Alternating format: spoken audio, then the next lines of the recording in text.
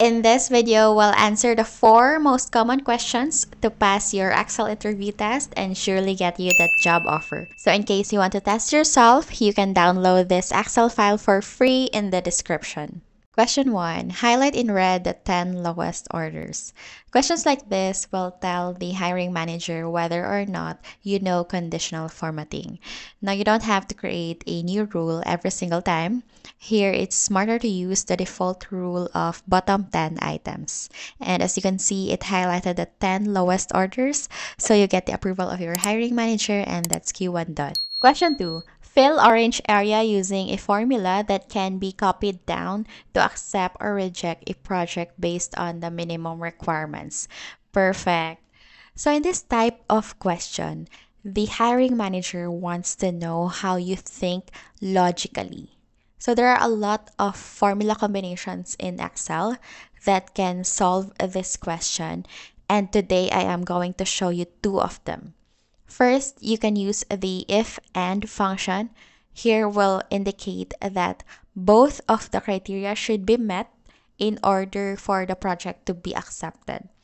And since we want to be able to copy down this formula, let's lock the criteria cell by putting dollar sign in between, or you can just click F4. The second option is to use the if or function. Here will indicate that if either one of the criteria is not met, then the project is automatically rejected.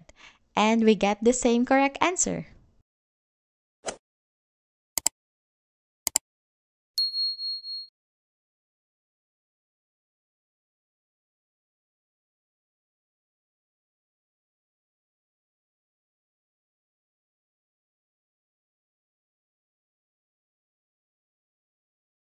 Question 3. Find the number of shirts we need to sell to reach $5,000 in profit.